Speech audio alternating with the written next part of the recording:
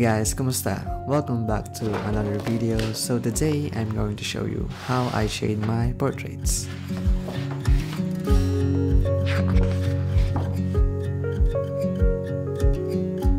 So first of all, shout out to Arrtx for the sponsor of this video. Okay guys, first step is find a good reference with a good lighting on the Pinterest, usually like this. I don't use the overexposed reference because you can't really see the shadows into it so most likely better choose a juicy reference so that you can achieve the highlights of the skin tones clear. So usually it takes me a while to download some reference of the one that I like to draw and then I compress it all using the app called Freeform. I drag it all the reference that I downloaded and I arrange it based on my sketchbook ratio like this. Or the easier, you can just create a double tab on your display to drag and drop the images on freeform. And then boom, voila, you can now have a gallery for your references.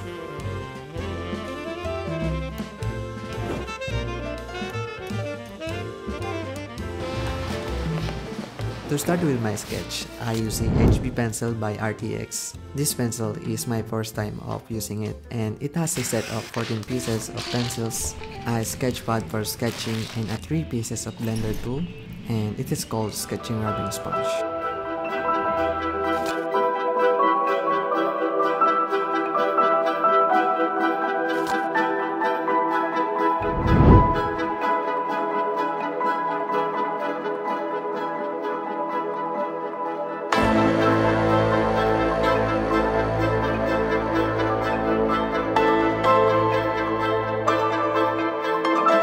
My sketch is finally done. Now I will shade this using the 2B pencil by Arrtx for the skin tones. Just make sure that your pencil is look like this so that you can shade faster. But not like this guys, it can be depressing when it breaks.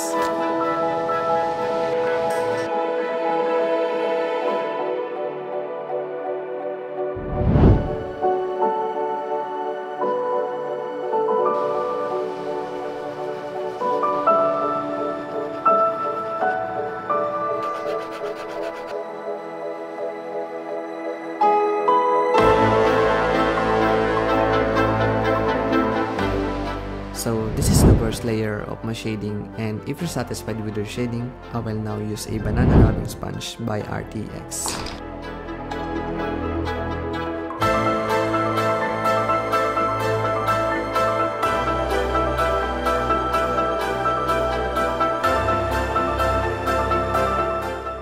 This might be one of my favorite part because if you blend it using this sponge, it will fasten your shading, it will cover up the skin tone just a second, and not at all. You can also achieve this very smooth texture to your drawing but it depends on what paper you're using.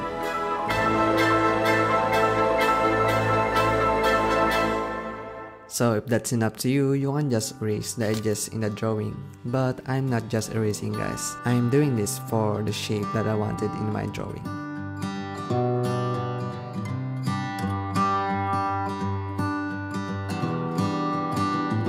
So for the second layer, I add another shading for this drawing, so this will be the shadow part. Basically, you just need a specific pencil to this one. I'm just gonna go and add another shading and imagine where the highlights came from. Just leave that part and trust the process, it doesn't need to be perfect. Or you can just erase the highlights first, it's up to you.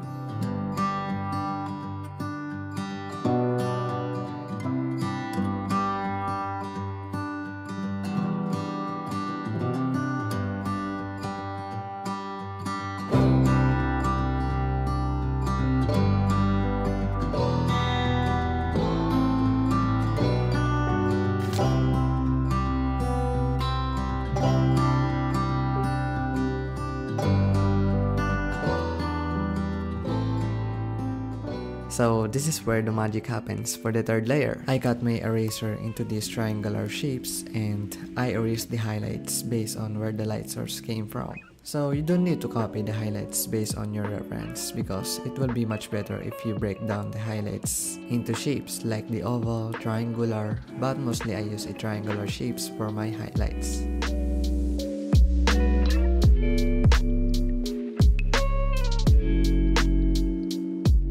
Then finally, I use a darker pencil by Arrtx and I shade it based on what's on the reference.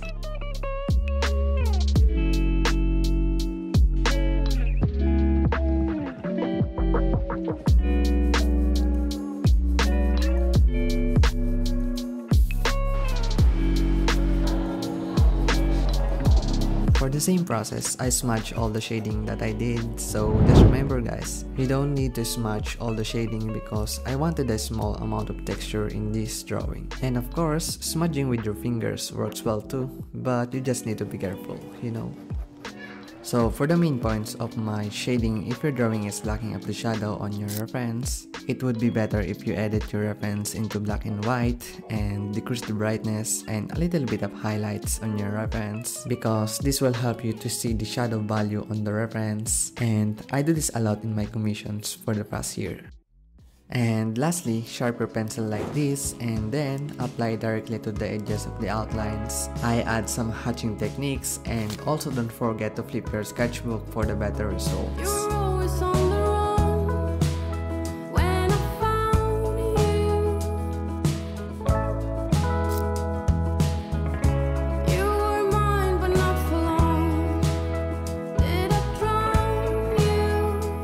So here's the result guys. This is how I shade my portraits. It is not the best yet but I really enjoy the process that I made.